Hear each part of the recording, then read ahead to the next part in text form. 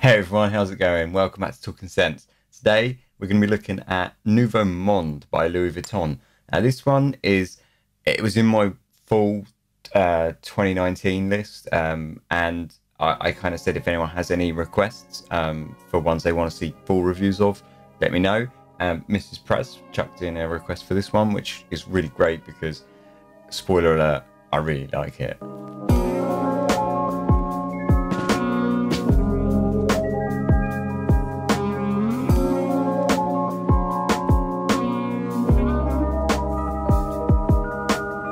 So, Nouveau Monde by Louis Vuitton. It's really interesting fragrance. Um, it doesn't really get a lot of talk, um, which I don't really understand. My best guess is that it's because it's from Louis Vuitton and it's they're not really a house that's known for their perfumes. I think they released a perfume in, in like the 1940s and then I think that discontinued. It was um, called Voyage and I think it was discontinued pretty quickly.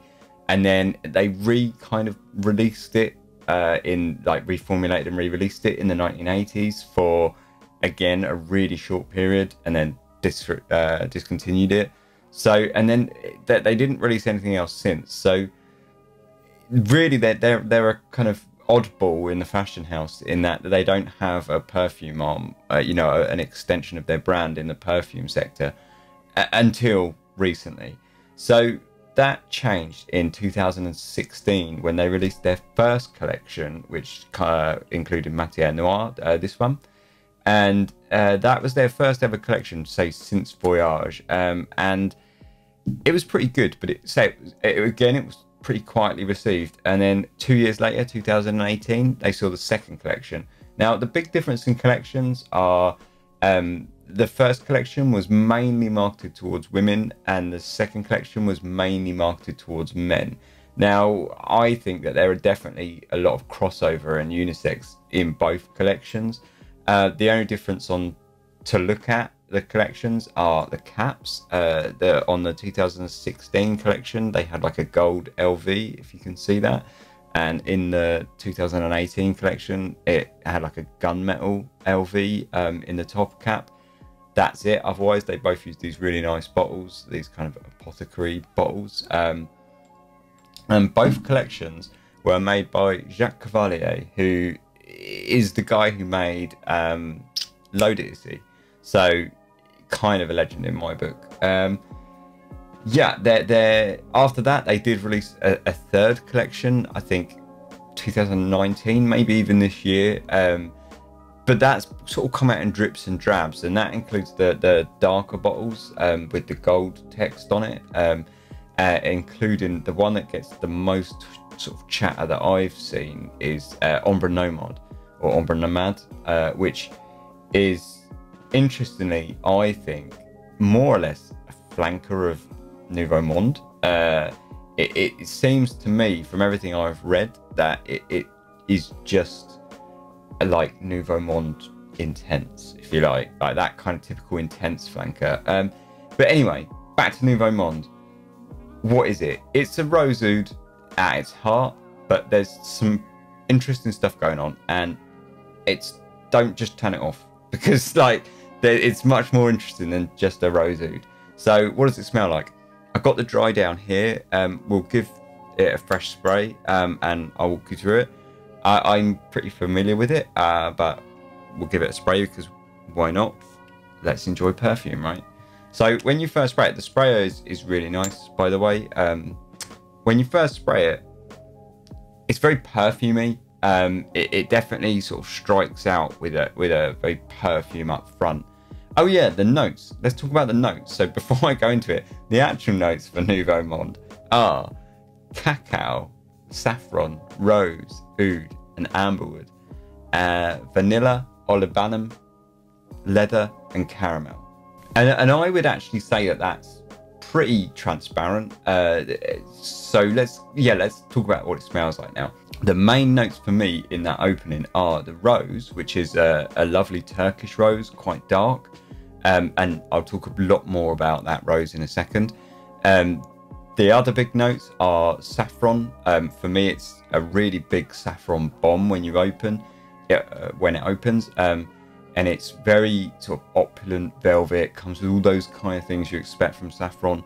Very velvety and soft, uh, and, it, and it does sort of open it with this big, comfy, soft velvet saffron. Uh, the, the, the third and last kind of main notes from the opening is the oud. Now the oud in this is quite interesting one. Um, it's Cambodian oud and apparently it's real oud. Uh, I, I, actually don't doubt that. Uh, I think for once, I think they're genuinely, it really is sort of. I, I, don't think any. In fact, they don't even shout about it. All they say is oud from Cambodia, which you know it's quite subtle. You know that that that doesn't really sort of. They're not shouting, "Hey, this is a natural oud," but I definitely think it is. The reasons for that because in this fragrance, especially in this open, it has so much depth. It has so much uh, nuance that I don't think it's either a, a, a real genuine oud or Cavallier has done like an absolute masterstroke with uh, uh, you know some other ingredients to make a, a, an oud accord. But I really genuinely think this is actual Cambodian oud in here. Um, now, interestingly, say Cambodian oud. I'm not like a connoisseur when it comes to ouds. I, am not even that much of a fan. Um, but everything that I understand of Cambodian oud is that it's the kind of the it's the fecal oud. You know, it's the it's the shitty, dirty oud um, that that that that tends to kind of put people's backs up. In this, it's not really fecal at all, but it's definitely definitely barnyard as hell. Um, so when you first spray it, doesn't really start out barnyardy. It starts out like a very dark wood, um, and it has these kind of resinous leather elements that sort of start it up. So from the opening, say this perfume, you've got big saffron, you've got this rose, which is this dark Turkish rose, very, very subdued um, and quite juicy. Um, a touch jammy, I would say. It like sort of smells a little bit fruity. Um, and it and it but it's very subdued and it stays subdued in this fragrance. Uh, later it gets a little bit more lively and interesting, uh, but I'll, I'll, I'll talk about that later. But in the opening, it, it's this quite juicy, subdued, dark, slightly gently smoked rose. Uh, it's really, really nice. I'm not a huge rose fan, and I like it in this. So then you've got the saffron, this big, comfy, velvety saffron. Then you've got this oud, which is this sort of smoked dark wood uh, with these kind of resinous, leathery facets. Uh, but the leathery facets are, are, are, are, right now they're not barnyardy. They're it, it's very much like a polished, waxed, worked, processed leather. Feels really sort of high class. A little bit got a, a touch of suede, which is obviously helped with that saffron, but it's got a touch of a kind of suede texture to it. Feels very, very, very class. Um, then in about 10 minutes, I say that's what I've got right now but in about 10-ish minutes into the wear and it will last for about 30 minutes you get this real kind of like dark broody animalic barnyard stank that just creeps up underneath it and it's real barnyard I, it, it gets I, I would say it gets quite challenging for about 30 minutes. I love it to bits. I think it's beautiful and I think it's tempered um, by some of the other notes, which we'll talk about. But it definitely, definitely has like a bit of a barnyard stench to it. definitely animalic. Definitely this sticky, resinous barnyard stench. Um, and it's gorgeous.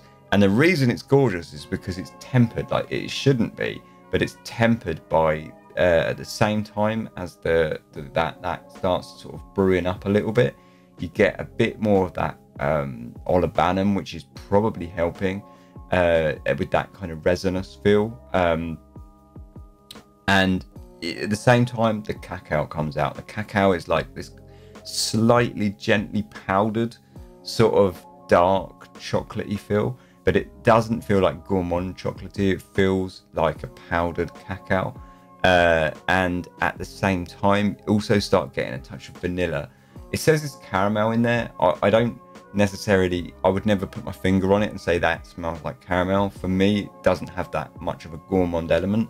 For me, it's just like a, a soft, creamy vanillic sweetness at the like underneath, um, but it's really really minimal. This fragrance is not that sweet. Um, it has its sweet elements with saffron and things like that, but it isn't this big kind of gourmand vanilla caramel bomb either. Um, it's very much just just in the bottom there, and it tempers that kind of animalic leather vibe. It, it, it, brings it back a little bit, and it helps to make it feel that sort of suede. Uh, and it, and all of this kind of helps to make that barnyard element temper itself and, and, and stay below the surface. So what you end up with is this opulent, rich, suede-like leather and saffron and cacao with this very sort of mysterious dark undertone to it that has this animalic danger and I love it. I think it's really, really nice. I think it's really sexy. I think it's really, really interesting. I think it gives it a lot of depth and dynamic sort of nuance. Um, but at the same time, it never gets stinky. It never gets nasty. It always retains this kind of high road, you know, this kind of, it always keeps itself utterly wearable and appealing but it really you can't deny like underneath it all is this stench and it's and it's real barnyard real animalic stench uh, and it's it's just glorious. I think it's fantastic. I really do think it's great. Um along with all this you've got this very very gentle smoked wood going on um that that sort of again for me i think with this fragrance everything about this fragrance for me everything that all of the, the the kind of things that give it real character and individuality are really restrained. And I, I actually really like it for that. I think it's it balances everything really well. So it has this smoked element to it but it's really dialed back and and really underneath. Again like just sort of almost sitting below everything just smoking away. Um, and it adds a bit of depth a bit more darkness um, but it never gets like smoky and, uh, and too much. It's always just smoking away, just smoldering underneath everything. And that's really nice. Uh, again, it makes it, uh, it brings it down a little bit dark. Um, so the, for this period, which sadly only lasts about half an hour, you've got this like powdered cacao uh, and saffron top, and then uh, in the middle, this very suedey leather that feels very polished, worked, and and gorgeous, and and, and quite opulent. And then un- below that, again, you've got this stanky barnyard stench with gentle smoke, um, and it's uh, sort of all kind of backed up by a very very creamy, soft sweetness, um, and it's. I really, really, really rate it. I think it's really good. Sadly, that doesn't last forever. After about half an hour, that all starts coming down. Um, and it doesn't get bad at all, but it gets very linear. Um, and what happens is, I'll switch to the kind of dry down. It, it all just tempers basically. The, the, the, the, the simplest way to put it is it just every, all of those kind of individual elements just temper down. So you don't get any of the, the barnyard stench completely disappears, like completely and you're left with just a very kind of refined leather, suedey leather feel. Um, the saffron gets a little bit more herbal feeling. Um, it sort of drops a bit of the sweetness, and it it becomes more like a herbal kind of feel. Uh, the cacao gets a little touch more powdery, um, and outside of that, the smoke drops right back, and it becomes just a, a, a woody sort of gentle smoked woody vibe. Um, but everything in it is is really tempered and down and relaxed, um, and it becomes just really smooth and chic and kind of sleazy in a way. Uh, it drops a lot of the darkness, but it becomes really easy to wear. It's super classy and it, it just smells great and it's it's very linear from there on you'll you'll get that for the rest of the wear which is pretty much all day the last kind of hurrah that it has, I guess, is it starts throwing up a, a very gentle rosewood, sandalwood um, incense, uh, and that sort of melds with that sort of very subtly smoked wood at the bottom. But it's it's it really is just a, a kind of I think that's more as the saffron tempering and stuff. It kind of gets sort of blended in with the woods, and you start getting that kind of incensey vibe.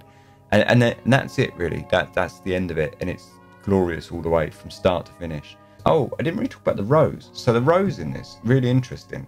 It flips in and out, and it's always really dialed back, and it and it it feels to me like it's always kind of just ghosting in and out of the fragrance. So sometimes you don't even smell it, and other times it just kind of creeps in and just shows its head, and then it zips out again. It's a really elusive, sort of um, lively note in this fragrance. It, it really kind of just flits in and out of the fragrance. Occasionally, just streaks through the middle, but it's always kind of like there and then gone and, and in and out. It's, it's it's really nice rose, really dialed back. It's not this heavier rose fragrance. To me, it's it's more leather renewed, with this kind of rose supporting rather than with some and roses where you get you know the and rose with the rose as the big showpiece. It's, it's the opposite in this. It's, it's definitely the, the the the suede leather and oud is definitely the showpiece with the rose just supporting it with that sweetness.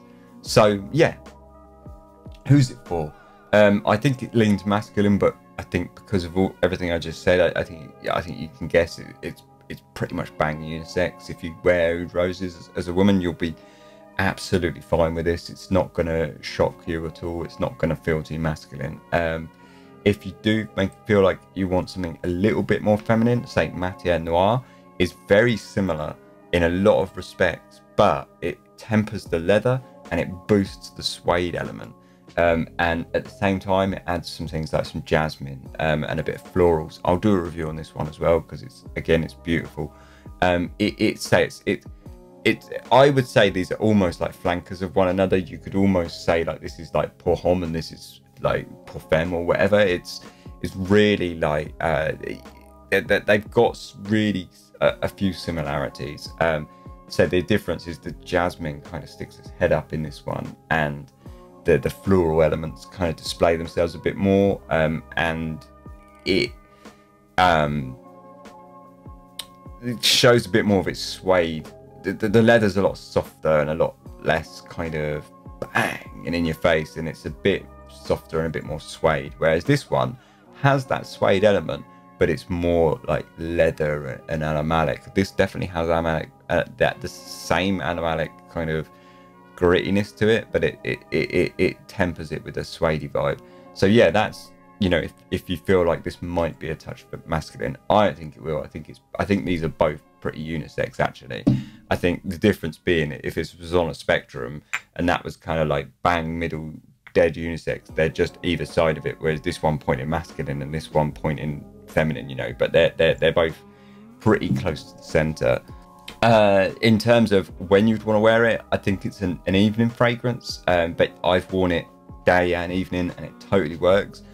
Uh, I think it does, I think it's versatile, completely versatile. I think it's actually like a four season, anytime fragrance, anywhere, but it lends itself to evening because it's got that kind of dark, mysterious element to it. It's really sexy. Um, if you wear it in the evenings, it's really sexy, it's very sultry, it's quite, you know, it's it's a it's pretty raunch. But if you wear it in the daytime, it does have that classy element that you that lets you pull it off really. Uh, and it's just, that works the same with dressing it up and down. If you dress it up, it's definitely classy. It's chic and classy, and it can absolutely hold its own uh, with with any anything else in the room.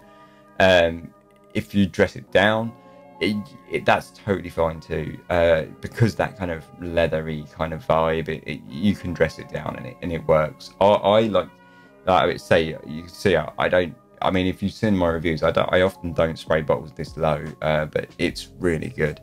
Uh, so in terms of price and that they're quite expensive. They're like 185 pounds to 20 dollars i think. Um, but you can take them. They are refillable, so um, you can take them to the LV boutique and they'll just refill them, which is and, and it's cheaper. So that's not too bad.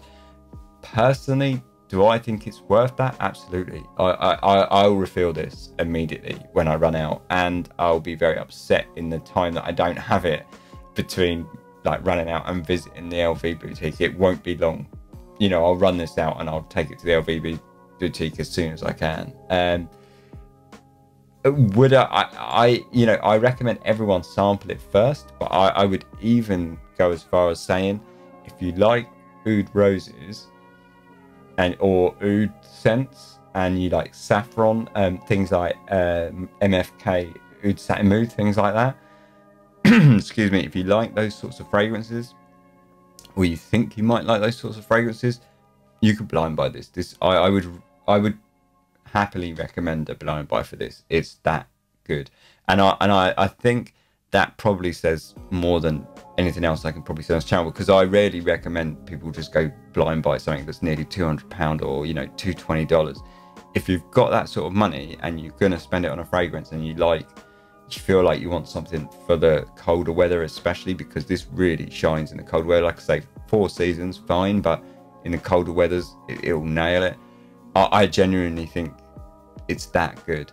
Uh, I, I've banged on about this, so is there any negatives? Absolutely. I just said this is really versatile. For me, I can't wear this in the high, high heat. Um, and I think it's a consequence again of, and it's what makes me think that this has probably really got real oud in it, is when I, it when it's really hot, it reacts really badly with my skin chemistry and it starts kicking up this sweaty, um, sour milk vibe uh, that's kind of disgusting, and it's it's got this kind of sweet sour milk rankness. Uh, so I can't wear it in the high heat because if say if I start getting quite sweaty at work or whatever, then it, it really starts chucking up uh, uh, just a it, quite a stomach turning uh, concoction. That could just be my skin chemistry, but it it definitely has done that.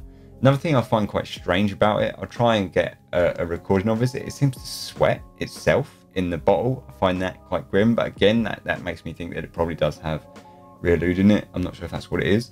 Um, but yeah, otherwise, fantastic fragrance. Really, really nice. One of my top fragrances. Um, uh, when I do my kind of roundup for this year, this will, you know, because I'm going to do kind of a, a kind of roundup for fragrances I've had on the channel this year and do like a top 10 of what I've done on the channel, this will be up there. This is really one of my favorite fragrances. Um, I'm not going to sit here and say it's like a masterpiece or anything like that because I think that those words are kind of mm, dangerous. And I'm also not going to sit here and say that another word that I don't really like that could be applied to this is people could say like it's niche quality or whatever because it's quite expensive. You know, the, to talk about the ingredients, you might say it's like niche quality, but what does that really mean? It doesn't, you know, I've got plenty of niche that are pretty low quality, I would say. This smells really high quality ingredients, and I really do think it's worth the money. Um, having said all of that, I'm now going to tell you all that you shouldn't buy it because one of the things that I do really like about this fragrance is, and the fact that no one really talks too much or gives any hype about the Louis Vuitton fragrances, is that no one really smells like this and I can wear this and be quite unique. So don't go and buy it. Bugger off. Nice one. Cheers.